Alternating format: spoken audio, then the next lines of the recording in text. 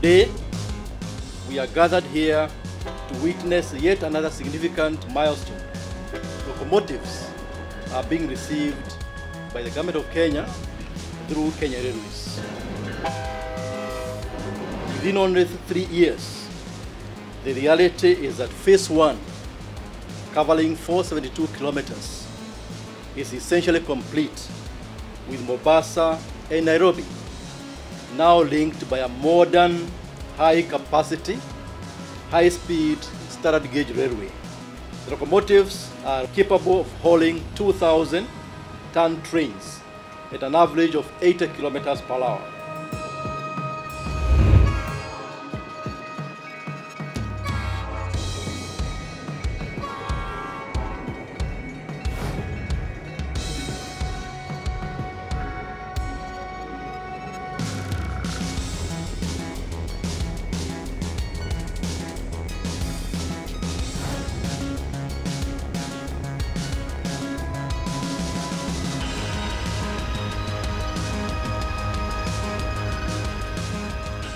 We have been walking this journey, it's now almost 10 years, and we can now see for the first time what people never believed will take shape.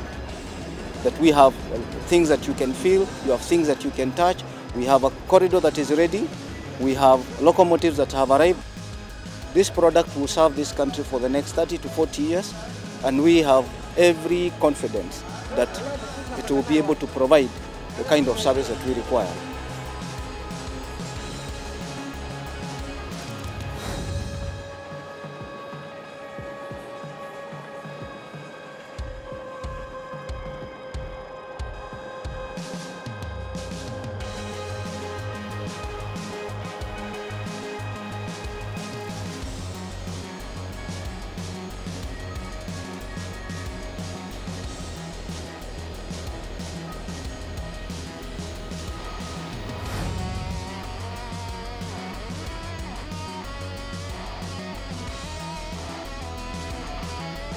It is going to redefine the way we do business, the way we move goods, the way we travel in this country for the next 200 years and beyond.